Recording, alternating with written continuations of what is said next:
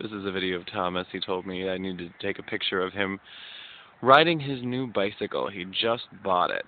And he also just told us he's very excited that it has a cup holder in the front for his beer.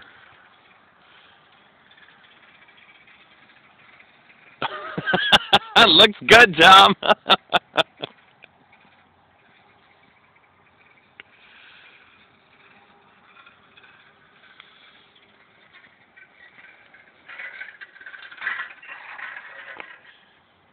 Looks great.